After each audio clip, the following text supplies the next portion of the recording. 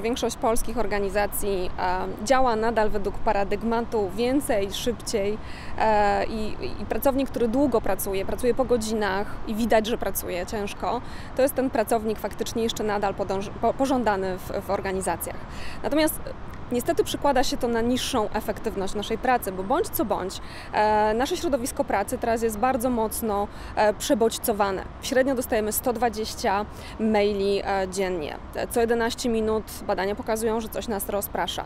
E, do tego odbywamy około 3 godzin spotkań dziennie, czyli 15 godzin tygodniowo. To wszystko powoduje, e, że ogromnym wysiłkiem staje się faktycznie to, żeby pracować efektywnie. Kiedyś też pracę, e, którą na przykład nie jesteśmy w stanie podczas spotkań wykonywać, musimy też wykonać, w związku z czym pozostajemy po godzinach.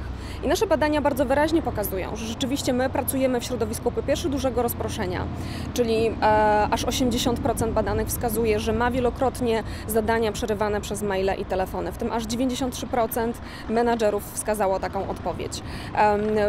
30% z nas, czyli 1 trzecia, ma poczucie, że pracuje w ciągłym rozproszeniu uwagi i z trudnością koncentruje się na wykonywanych zadaniach.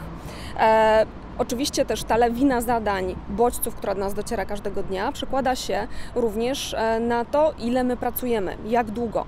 Mamy tendencję do zostawiania sobie trudnych zadań na koniec dnia, kiedy już nic nas nie rozprasza w pracy.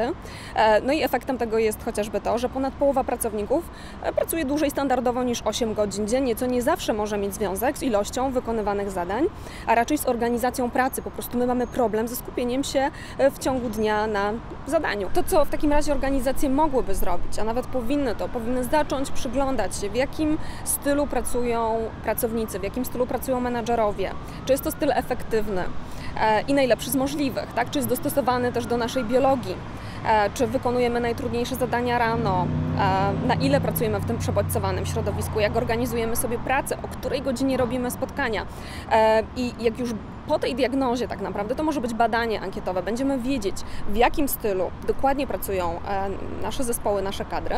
To dobrze wtedy zacząć zastanawiać się, jakie drobne zmiany w organizacji pracy e, można wprowadzić, żeby po prostu pracownikom i menadżerom pracowało się lepiej, efektywniej, e, żeby przeżywali mniej stresu, żeby jednak byli w stanie koncentrować uwagę, e, no i żeby to jakby przekładało się też na efektywność e, całej organizacji.